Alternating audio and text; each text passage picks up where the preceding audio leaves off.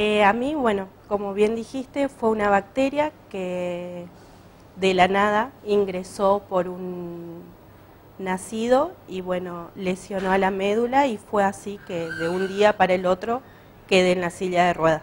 Bien, en tu Facebook y en tus redes sociales se puede ver que tomás a la vida con mucho humor y a esta situación también. ¿Por qué, ¿Por qué decidís tomarlo así?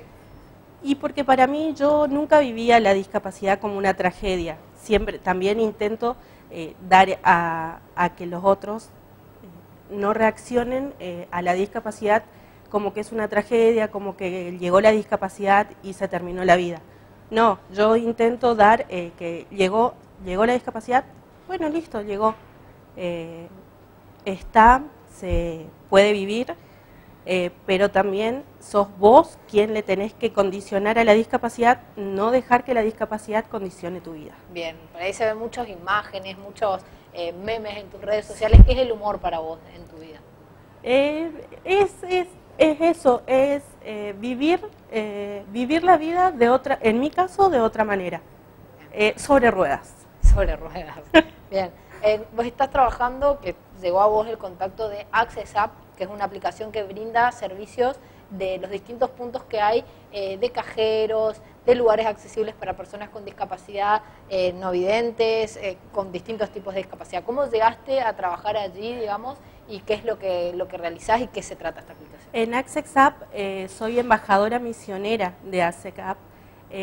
como bien dijiste, es una app que te podés bajar por Play Store, que todas las personas con discapacidad tienen, tienen que bajarse, eh, te aporta, eh, en cada lugar turístico podés ver cuáles son los hoteles accesibles, los restaurantes accesibles, los cajeros, eh, y así se van subiendo cada tanto cuando los chicos, Andrés y Carmelo, que son los que crearon la app, ellos van recorriendo. Ahora, los primeros días de julio, van a estar acá en Posadas, van a recorrer, vamos a recorrer, vamos a salir a recorrer eh, misiones junto con ellos y, básicamente es eso, la, ser la embajadora es, es ir lugar por lugar, eh, cargar, eh, pasarle a ellos las informaciones de lo que se encuentra cada vez más accesible acá en Misiones. ¿Cómo contactaron ellos con vos?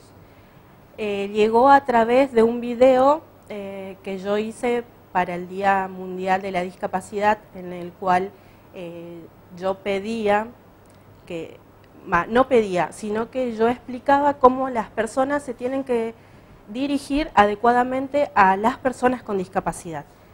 Como tengo familiares en Córdoba, Corrientes, Buenos Aires, eh, compartieron, compartieron el video, llegó a, llegó a manos de Andrés el video y ahí fue como Andrés se contactó conmigo. Bien, aparte de estar trabajando ahora en, en Access Up, eh, estás estudiando abogacía. Sí, estoy estudiando abogacía, ya estoy a punto de recibirme, así que también estoy haciendo una, empecé una diplomatura en discapacidad eh, sobre el carácter social y político que tiene la discapacidad. Bien, me contabas también fuera de, aire de que la discapacidad a vos te dio eh, pie también a darte cuenta de algo muy importante en tu vida, que es parte, digamos, del, de lo propositivo de que fue esto para vos. Exactamente. Eh, como te comenté que muchas personas eh, a veces se preguntan por qué a mí, por qué a mí, por qué a mí, tanto las que adquieren la discapacidad o los que nacen. En mi caso, eh, nunca, en ningún momento, desde que empezó, desde que se transitó hasta que se llegó al día de hoy, es que yo me pregunté ese por qué, sino que yo me preguntaba para qué. En ese momento eh, yo estaba viviendo eh, con mi, ex marido eh, y yo vivía violencia de género. fue así que después de estar 60 días internada, después me fui a vivir un año a Córdoba con mis padres y mi hijo, que estando de nuevo en ese entorno de mamá, de papá, eh, con mi hijo fue que es como que empecé a depurar y encontré el para qué que fue para salir, gracias a Dios, de, ese, de esa vida tan tóxica que estaba. Después de la, de la discapacidad, él decidió irse de la casa. Exactamente, llegó, eh, yo digo que con llegó la discapacidad y llegó la liberación. Bien, buenísimo. Bueno, ¿cuál es tu mensaje por ahí para las personas que eh, recién ahora o que por ahí se preguntan justamente este por qué a mí, digamos? Que no, que no, no busquen un por qué, que, que se pregunten para qué, porque siempre está la, la vueltita de rosca en la que encontrás eh, la salida, con la que encontrás y decís, ah, mira, era por tal o cual motivo, era para esto. Eh, y que no vean eh, a, la, a, la, discapacidad como una tragedia. Eh, que acepten, cuesta. No te digo que vos aceptás la discapacidad de una hora para la otra.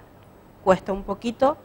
yo, gracias a Dios, tuve los pilares fundamentales en mi vida, que fueron mi papá, que hoy ya no está, mi mamá, mi hijo, eh, y también tuve una ayuda muy importante que fue un enfermero en Córdoba, eh, que una noche de mucho frío en Córdoba me sacó, me dejó a mitad de rampa del edificio donde yo vivía y mm, él fue el que me dio ese empuje final para decidir, porque él me dijo que en ese momento así estaba mi vida.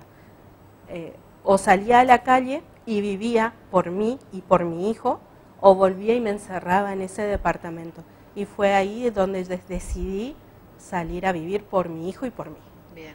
A las personas que por ahí eh, hoy tienen alguna discapacidad, ¿dónde pueden encontrar la aplicación que les va a ayudar por ahí en muchos aspectos? Tenés la, eh, tenés la página Hablemos de Discapacidad Posadas Misiones, que ahí eh, tengo muchas, me llegan muchos pedidos de ayuda, muchos muchas cosas, eh, denuncias de rampas, denuncias de, muchas cosas de las obras sociales eh, y que tratamos, porque somos un grupo eh, de personas con discapacidad, de padres con niños con discapacidad y de, familiares que, quieren ayudar, que tratamos de darle una solución, tratamos de buscarle soluciones. y también se pueden, pueden entrar al Play Store y bajarse Access App para eh, todo lo que es turismo.